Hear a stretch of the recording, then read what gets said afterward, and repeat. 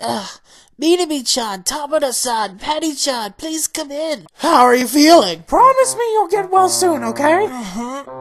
I just wish I wasn't so weak and frail, because I hate being sick. I feel bad for making everyone worry. No way. Being weak and frail is a great way to get people to make a big fuss over you. Yeah, well, it probably looks fun to someone who isn't weak and frail, but if you're weak and frail, it probably sucks. Hmm. I guess it's like saying if you have a sister in real life, you probably won't think little sisters are moe. Yeah, that's right.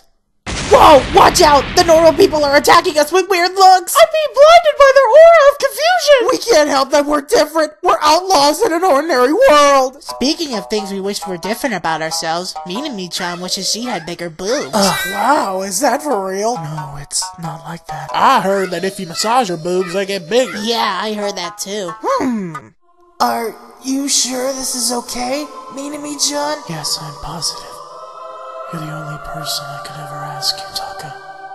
Okay, here it goes.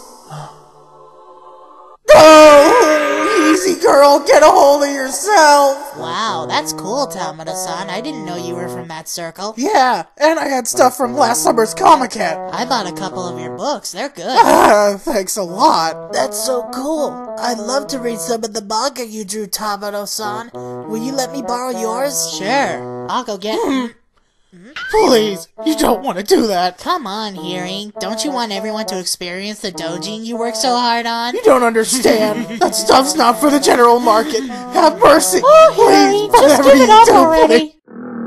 Lucky Star.